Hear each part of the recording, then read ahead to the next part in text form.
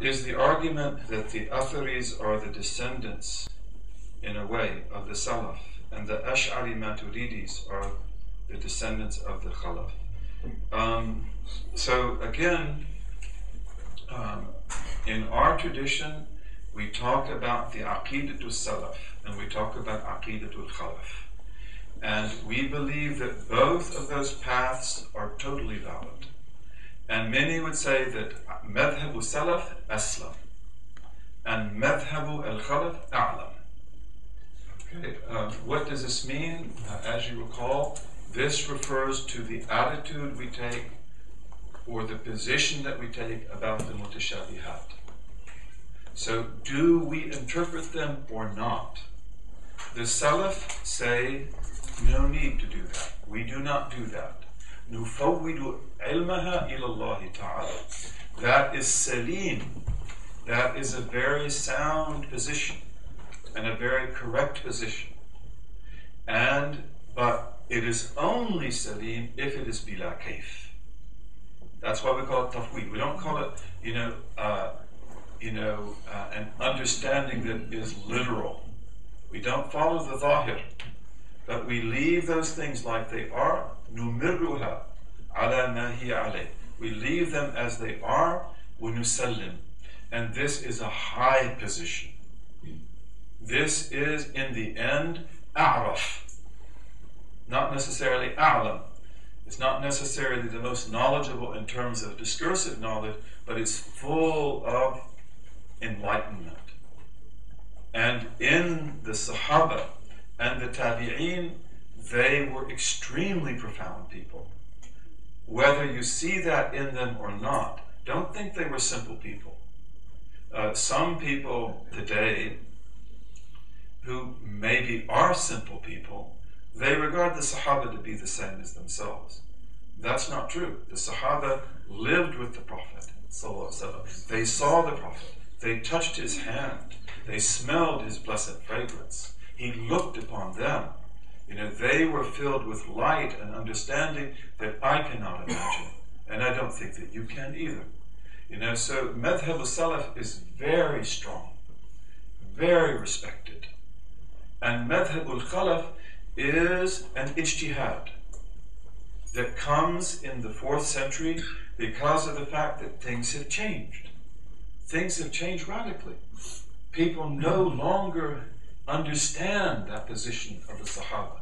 And there are now big fitnas, there are batinis, there are zahiris, there are people of esoteric interpretations, exoteric interpretations, there are anthropomorphists, there are all sorts of things. So now it's like, don't say tafweed to me. I will say this means that. Okay? And so then they say, no, now we will do ta'wil. That we will give you a valid interpretation of this for your sake. Not because that is the ultimate statement, because it's not. The ultimate statement is the statement that cannot be spoken. It is the position of Imam Malik. It is the position of Imam Ahmed bin Hanbal. These are arifun, and also Imam Abu Hanifa. Imam Abu Hanifa is the father of the Maturidi school. And Imam Abu Hanifa in Al-Fiqh al-Akbar and uh, in some of his other writings, his aqidah is beautiful.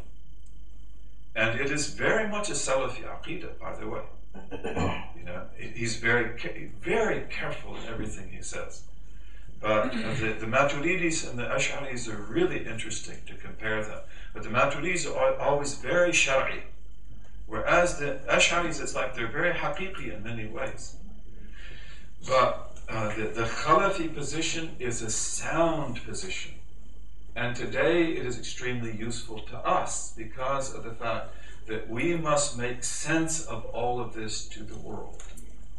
We live in a time where people have to know the structure of reality. In the past, the structure of reality is not a problem.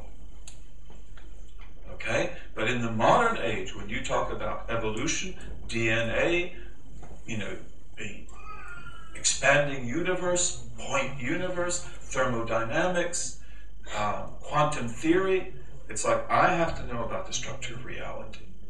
You know, I have to know what to say about that. So here, then we have to get the full theological tradition, and in my belief, we have to even add to that. Because there are other things in the Haqiqi tradition of Islam that now explain to us things that, I mean, why were they told in the first place? Because of the fact that today I have to be able to open that door somewhat. And, you know, then, I mean, today, if we talk about things like Maratib al Wujud, the different levels of existence, you know, this changes everything. And it's very important for modern physics, extremely important for quantum mechanics. Quantum mechanics itself uh, is based primarily on the Buddhist concept of the eight. If you study the history of modern science, you'll see that. That the, the, some of the great people who've won the Nobel Prize in atomic physics, they have been inspired by Buddhism and its vision of the structure of reality. What about us? But we don't talk. We don't write. You know, we are a sleeping giant. You know, and may we come to life and may we learn our tradition and we should be a vanguard in everything that we do, bi'ithnillahi ta'ala. Um, you know, is that an adequate answer to your question?